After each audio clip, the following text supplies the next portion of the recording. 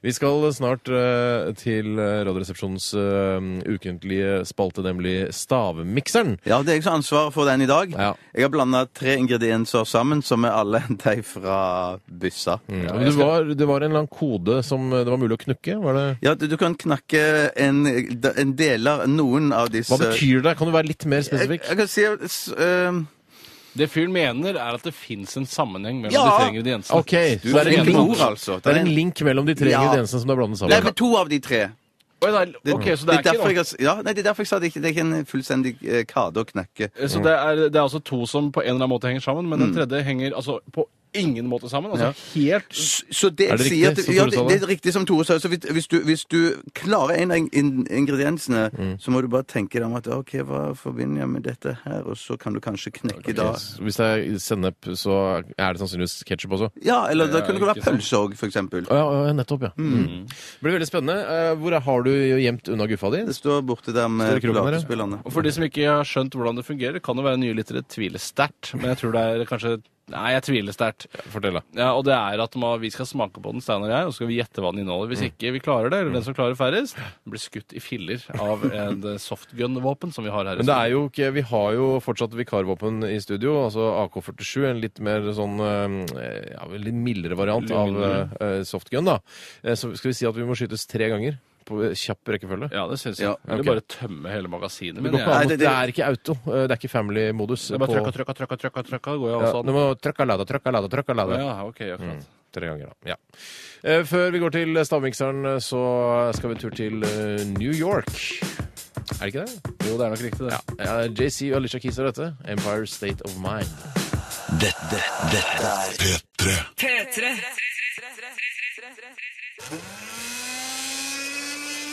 12 000 omdreininger. To vertikale skjæreblader. Majones. Smør. Saus. Supp, supp, supp, suppe. Puré. Radioresepsjonens stavmikser. Ha det bra. Ha det bra. Nå kan Steinar og Tore bare gå ut. Ja, det er riktig. Nå skru av skjermen der, så de ikke ser. Nei, det er ikke så Nei, nøye. ok. Folk sender ikke inn svaret på hva det er i stavmikseren. Håper ikke det. Ok, da er de ute. Nå snakker jeg bare til dere som hører på.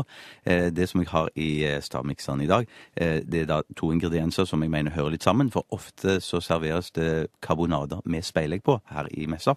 Så da er det altså karbonade og speilegg i stavmikseren sammen med Klausthaler lettøl. Altså speilegg, karbonade og Klausthaler lettøl. Så um... Kom inn! Sa hun da. Men det visste jo ikke Tore noe om.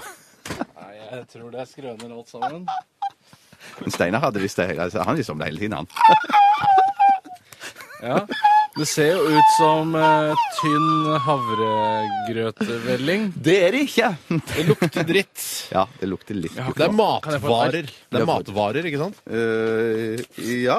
Det er ikke, det er Det- ikke, det er ikke biff stroganoff, liksom. Det er ikke en Det kan ikke være Skjønner du? Nei, ja, nei, det er Det kan ikke være biff stroganoff, punsjebolle og napoleonskake. Det går ikke an. Nei, nei, nei, nei, Altså, nei det er akkurat ikke å si, sånn. Det er koldtbord. Eh, ikke sant? Det går ikke Ja, an. nei, det går ikke an. Nei, nei, nei, nei. Det, det er tre helt sånn selvstendig greie ingredienser. Er det noe alkohol i det? Eh, Det er det ikke. Du har ikke klart å blande det helt. Det er noen hvite, tynne, små klumper sånn à la fett. À la fett. À la fett. À la carte, à la Og så er det noen svarte prikker her også. Det var, det, altså, jeg kaster ikke opp av det, men det, det er ikke noe jeg vil begynne å blande. Det er veldig vått. Ja. Det er ikke noe sånn til lørdagskosen, dette her, i det hele tatt. Det er nok ikke det. Men vanskelig å tygge de små bitene. De er veldig seige. Det beklager jeg. Hva kan det komme av? Jeg trodde først det var brød. Kan det være brød? da? Mm, Brød da, brød Det da. er viktig at man gjør litt sånn som i Beat for beat. Man snakker hele tiden hva Ja. man, for, det, fordi det skal bli bedre underholdning. Har dere spist dette før? Mm, ikke, men det er, to, Nei, ikke det- Nei. det er to som utgjør en køde. Ja, jeg, jeg mener på en måte det, altså. Ok, da, ok, da tenker jeg at det, ja, da har jeg det. Det er Fader ulland. Nå Eh, sliter jeg, altså. Det, Pokker, altså. uff, det er dumt, Basse, altså. Du Det er dumt masse, altså. Hva er det drittet her for noe? Nei, OK, OK. ok. Nei, da, Jeg prøver meg, jeg. Ja, jeg har to, i hvert fall. Ja, Du må nesten ha tre, for det er det det vanligvis eh, Ja, er. der er et Fått vondt i huet av det? Jeg klør i huet, sier jeg. Det er lov å klø litt i huet. Da er det sier jeg hva jeg har, jeg. Nei, vent, litt, vent på Steinar. Steinar må ta en til. Steinar Mm. OK. Jeg, vet- nei, jeg- OK. Å, Ja. Skal vi høre Hør hva Tore bare- har å si, da. Den har han skrevet tre. OK, hva sier du, Tore? Jeg tror det er horn. Horn? Jeg tror det er ost. Gulost Gulost? og melk. Og køden tror jeg er ost og melk. Jeg skjønner. Eller horn og ost. Horn, Dere ja, har ja, snakka sammen. Nei, jeg har ikke sagt det kvekk, jeg. Hva, hva, hva sier du, Steinar? Fløte, nøtter og banan. Fløte, Jeg kan jo riktig det, vel? nøtter og banan. Hva er Og det du har riktige? sagt horn, gulost og Hva var det siste? du sa? Melk heter det. Melk. Det er jo ingen som er i Ja, nærheten. din søppelsekk! Du Få må høre. klare å Det som lage er- ordentlig mikser. Karbonade, Det er ikke speilegg noe karbonade oppi her. Karbonade og speilegg, de to tingene som vi hører sammen. Og så er det Klaus taler. Karbonade Å nei. Så jeg må rett, rett og slett henvende meg direkte til dere lyttere. Eh, hvem av Steinar eh, og, eh, og Tore skal skytes i dag? Husk hvor gøy Du det er når Tore blir Du valgt. da. bestemmer. Husk hvor gøy det er, folkens. Eh, Vis litt medmenneskelighet, da, for en gangs skyld. Drittunger. 1987 kodoresepsjon. Tore med Steinar. Ja. Radioresepsjonen I det hele tatt er jo resepsjonen stedet. på P3. Så Annie på Lydverket i går. Jeg visste ikke at hun snakka sånn som hun snakka. Har du dialekt? Hæ? Hun har det, tror jeg, en slags Kristiansand-dialekt eller Nei, noe. jøsse navn. Jeg trodde du var Oslo-jente. Jeg trodde det også. Jøsse navn. Eh, songs remind me of you. Og det var ganske jevnt her lenge. Eh, det er mange som vil at jeg skulle bli skutt, og mange som vil at Tore skal bli skutt.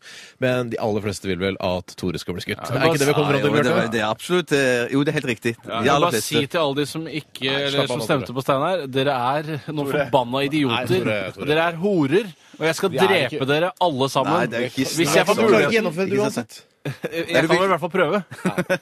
Hvor vil du begynne, da? Banna idioter. Ikke tru de på livet. Trudy. altså. Don't trudy on your life.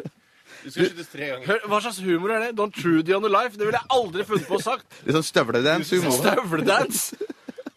Sullik. Da må ta av sikringa.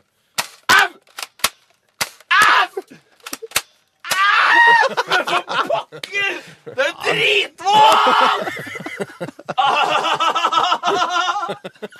Det, det er verre å bli skutt med sånn flerskuddsmodus. med. Fjeskudd! Fjes. Oh. Ok. Eh, vi får uh, kan vi starte en sang? Jeg må også på do, jeg nå. det, er så, det er så rart, Tore, fordi jeg er så utrolig glad i deg. Og samtidig så er det så morsomt når du blir Ah, skutt. Klapp igjen. Jeg er glad i deg òg, Bjarte. Jeg er glad i deg òg, Basse. Jeg er glad i dere som hører på også. Uh, I fare for å bli Are Odin, så er vi altså det. Eh, vi høres igjen på mandag. Ha en, se på Nytt på Nytt, da. Ha det!